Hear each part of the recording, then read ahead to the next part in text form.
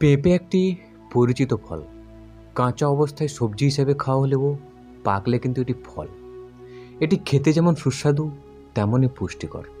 তবে বেশিরভাগ মানুষ পেঁপের উপকারিতা সম্পর্কে খুবই কমই জানেন। যে কারণে এটিকে খাওয়ার গুরুত্ব কিন্তু অনেকেই বুঝতে পারেন না। তাই বন্ধুরা, আমি ভিডিওতে বলতে চলেছি, পাকা পেঁপের উপকারিতা নিয়ে। তাই বন্ধুরা, ভিডিওটি লাস্ট পর্যন্ত দেখতে থাকুন।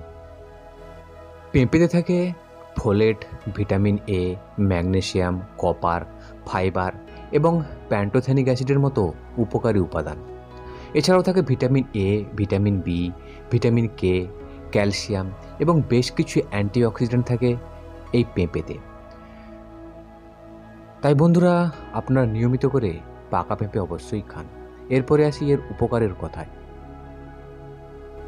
নাম্বার ওয়ান, অ্যাজমার সমস্যা কমে। অনেকেই অ্যাজমার সমস্যায় ভুগে থাকেন। এই ধরনের সমস্যা থেকে দূর করার জন্য ছোটবেলা থেকেই পাকা পেঁপে খাওয়া অভ্যাস করুন। এতে থাকে বিটা ক্যারোটিন যা অ্যাজমার সমস্যা দূর করতে খুবই উপকারী। নাম্বার টু, পেটের সমস্যা দূর করে।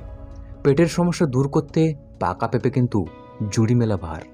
এতে থাকে প্যাপাইন নামক এক ধরনের এনজাইম। এছাড়াও রয়েছে উচ্চমাত্রায় ফাইবার এবং পর্যাপ্ত জল থাকে, যা কোষ্ঠকাঠিন্য এবং পাইলসের রোগীদের জন্য কিন্তু খুবই উপকারী।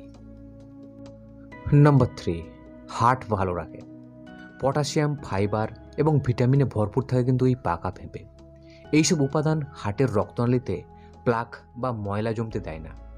যে কারণে সহজেই কিন্তু দূরে রাখে হার্ট অ্যাটাকের মতো সমস্যা।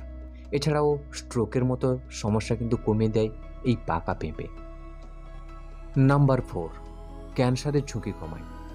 ক্যান্সার নামক এক মারণবাদী থেকে দূরে রাখতে কিন্তু এই পাকা পেঁপে অনেক সময় কাজই করে। এতে থাকে অ্যান্টিঅক্সিডেন্ট যা ক্যান্সার প্রতিরোধ করার জন্য খুবই উপকারী। নাম্বার ফাইভ, হাড় ভালো রাখে।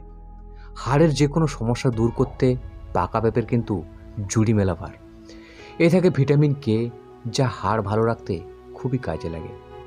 এই পাকা পেঁপেতে প্রচুর পরিমাণে ক্যালসিয়াম থাকায় আপনার রোগ প্রতিরোধ ক্ষমতা বৃদ্ধি পাবে। এবং আপনি রোগমুক্তও থাকবেন।